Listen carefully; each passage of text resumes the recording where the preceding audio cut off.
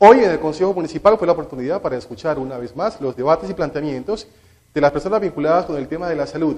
Se discutió ampliamente la suerte del Hospital Departamental de Buenaventura. Estuvo un delegado de la Gobernación del Valle del Cauca, exactamente el jefe de salud departamental, quien manifestó que no está interesado en que el hospital se liquide, pero mostró pocos avances en materia de propuestas para salvarlo de la crisis.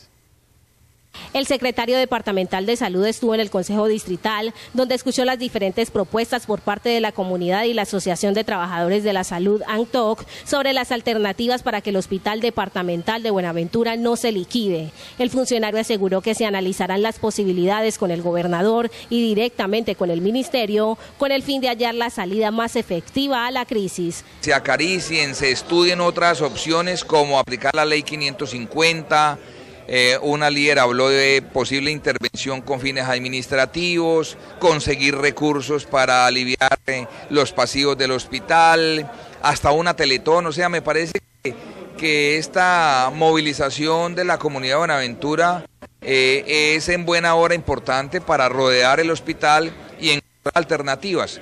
Lo que sí es claro desde el punto de vista técnico de la Secretaría del Ministerio es que debemos encontrar esa salida porque inexorablemente la crisis va avanzando día a día y no podemos dejar colapsar totalmente la institución. Para algunos concejales queda un sinsabor con el tema de la crisis del hospital debido a que no hay una propuesta directa por parte de la Secretaría de Salud Departamental. Hoy veo que hay dos soluciones, dos posibles soluciones.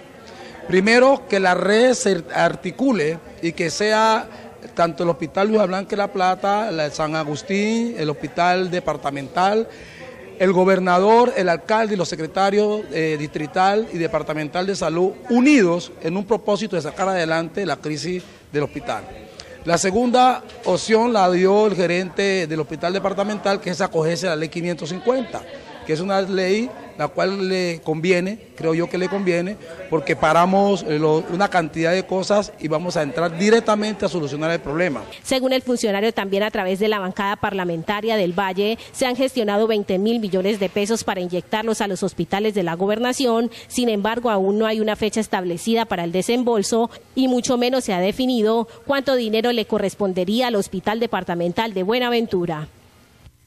A ti mi Buenaventura, Plásticos y desechables Doña Mari. Un completo surtido en bolsas plásticas, desechables, y copor, plástico negro, baldes, gancho plástico y ferretería. Palos para helado, chuzos, paletas, línea completa para el aseo. 10 años de servicio para los porteños. Gracias a Dios y a la gente por confiar en nosotros. Estamos ubicados en la calle primera, número 1003, calle Los Alemanes, barrio Pueblo Nuevo. Teléfono 24 194 13. Celular 313 645 8893. Plásticos y desechables Doña Mari. 10 años de servicio para los porteños.